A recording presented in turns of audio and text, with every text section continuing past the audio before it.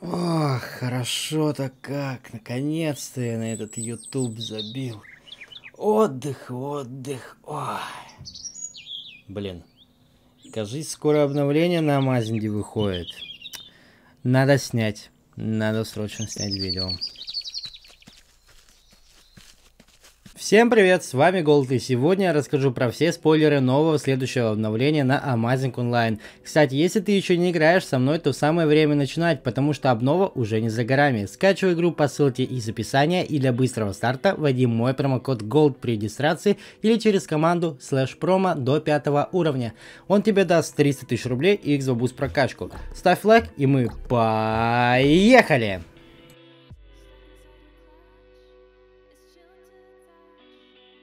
Так, так, так. Поселок у нас, значит, новый добавляют. А что в нем будет? В нем будут расположены различные известные достопримечательности, относящие себя к разным культурам и народам. Это, например, как стела союзных республик, царь колокол, казахский мурал и домбра, изображены на скриншотах. Помимо достопримечательностей, которые дополняют атмосферу нашей игры, появилась информация, что поселок будет расположен рядом с Бусаево. Игрокам предложили назвать поселок как они хотят, но варианты, которые лидировали, совсем не подходили под данный поселок. Поэтому, когда выйдет обновление, то игрокам дадут покататься осмотреться и уже заново придумать название. Но вот что удобно будет, это тоннель, который соединяет Бусаева и новый поселок. Ну и, кстати, как обычно, при добавлении новой локации добавляют и новые бизнесы. Да, бизнесмены ликуйте. На скриншотах можно заметить новую АЗС и закусочную. Ну и чтобы были посетители в данных заведениях, естественно, как и полагается, будут новые дома для жильцов. Выглядят они примерно как на Рублевках, ну совсем чуть-чуть похуже.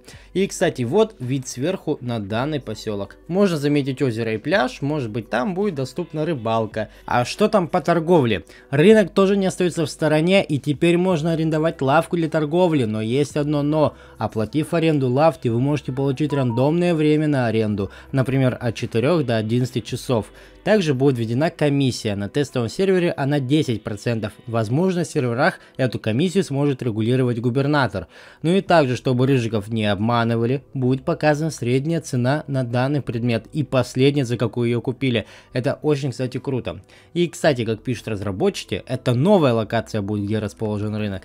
Я, конечно, вообще что-то не выкупаю, где это. Напишите в комментариях ваше предположение, где будет находиться новый рынок.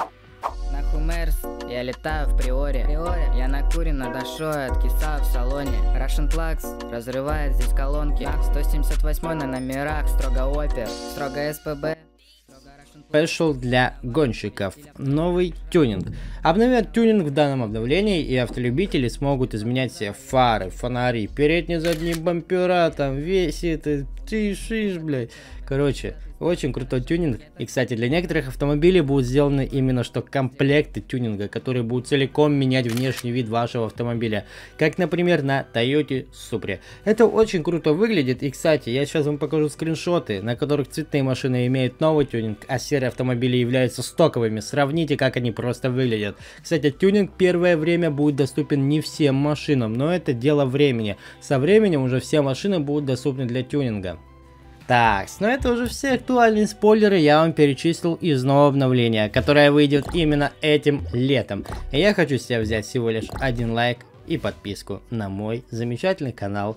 Ну а также, если тебе не трудно, то напиши комментарий под роликом. Спасибо тебе за просмотр, дорогой зритель. С вами был Голд, и мы со всеми вами скоро увидимся. Всем пока.